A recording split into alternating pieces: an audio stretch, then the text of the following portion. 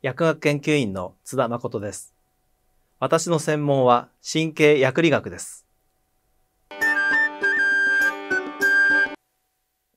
私たちが感じる痛みや痒みは生体防御として大切な感覚ですが、それが慢性化しますと生活の質が低下するため適切にコントロールする必要があります。しかし、癌や糖尿病、アトピー性皮膚炎などで発症する慢性的な痛みや痒みの仕組みはよくわかっておらず、処方する医薬品もありません。私はそのメカニズムを明らかにする基礎研究を行っています。痛みや痒みの感覚信号は神経細胞を伝わり、皮膚から脊髄、さらに脳へと運ばれます。私はこれらの神経系組織に存在する神経細胞や他の細胞の働きに注目し、ある特定の細胞の活動や遺伝子発現などを人工的に操作する技術や、細胞の活動や動きなどを生きたまま観察できる顕微鏡などを使いながら、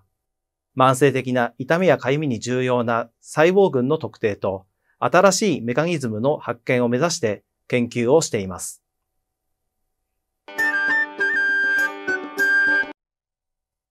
世界で誰も見つけていない新しい現象を発見したその瞬間の驚きと喜びは、まさに研究の醍醐味と言えます。私の研究では、脳や脊髄の神経細胞に加えて、その周りにいるグリアという細胞の働きに注目しています。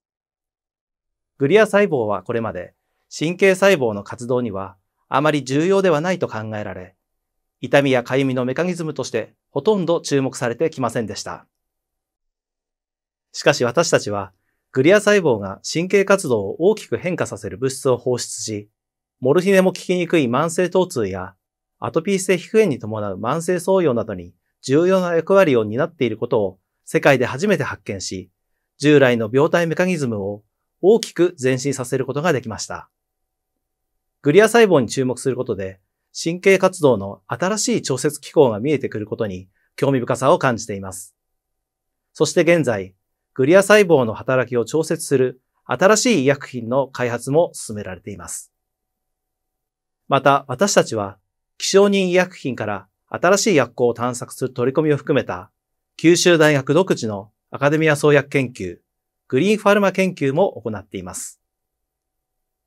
それらの基礎研究と応用研究から自分が発見した病気のメカニズムに有効な薬を見つけることができ、そしてその薬が多くの患者さんの苦しみを和らげることができれば、研究者としてこの上ない喜びとなり、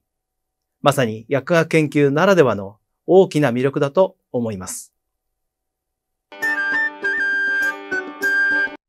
研究において新しい物音の発見への道のりはそれほど平坦ではありません。